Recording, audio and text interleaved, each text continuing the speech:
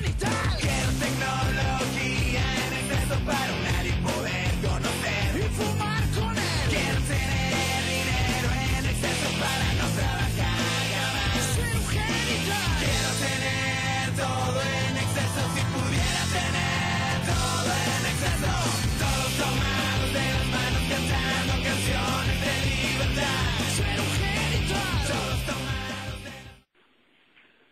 You'll have the laptop on a shelving cart or a table as you see here, anything you can roll around easily.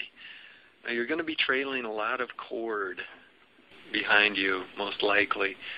So keep that in mind. If there's going to be foot traffic in the library, do whatever you need to uh, make sure that nobody trips over it. You might want to put some warning signs if you can borrow those from your custodians. Now the scanner simply plugs right into the laptop as Julio's going to demonstrate. The scanners are all plug and play, so you don't need to do anything. Once you plug it in, you're ready to go. You'll be using workflows. You're going to use the circulation toolbar that you always use to check out books, but in special circulation functions, you want to look for inventory item, which is right at the bottom there, as you can see in this dazzling close-up. This is all in the circulation toolbar. Once you've uh, activated that wizard, you're ready to start scanning books. When you start doing inventory, it's preferred preferably to work in partners of two for the reason that whenever errors pop up, one person can be looking at the laptop and on the screen, they can go ahead and, and usually find the errors faster. And it's easier for the person that's scanning to go through the collection much quicker. Uh, first, uh, you have to loosen up the book, have space. And uh, you do just take out the book and scan it from down to up. You know, pick it up, put it put it back in, and then pull up pull up the other one out. And then just like that for all the books. And the person that.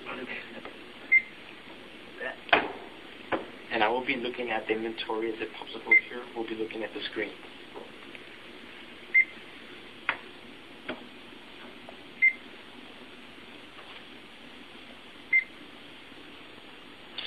As you can see right there, we already have an uh, we already have a pop-up and alert message, and on it it says it's a route transit to Pecan. You're apt to see various kinds of errors.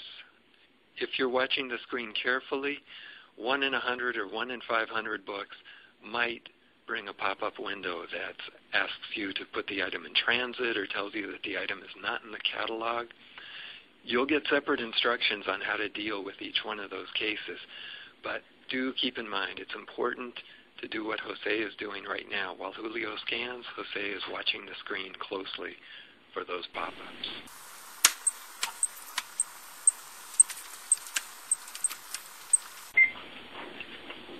Okay, go back to the other part, the one that you just scanned. There, right there. Right And here, we have one that's in transit. What we're going to do, we're going to go ahead and turn it in. So we can go to discharge, check in. Now, when you do find an exceptional item, it's important to flag it, take it off the shelf, mark it, make sure to deal with it properly.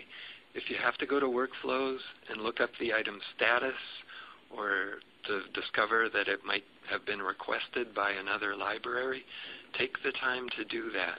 That's one of the reasons for doing inventory is so insofar as it's possible we can account for everything that's on the shelf.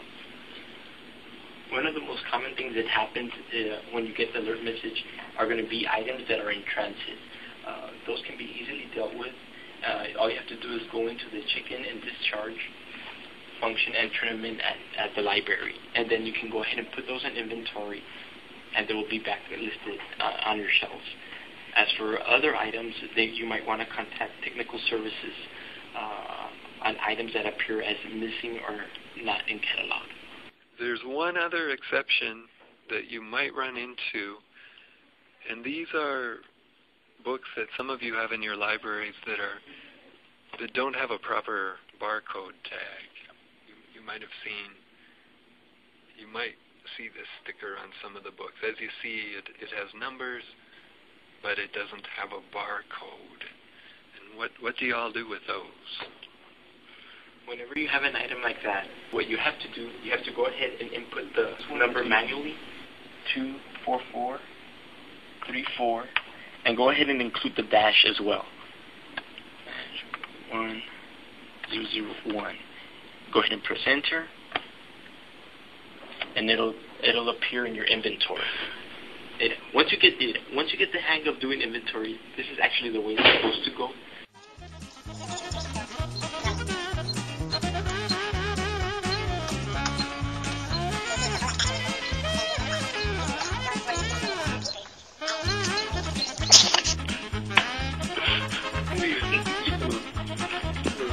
Well, well, thanks a lot, you guys, and uh, everybody. Please have fun. That's the most important thing. Oh, he's gonna leave it. in. I'm going to edit the hell out of it.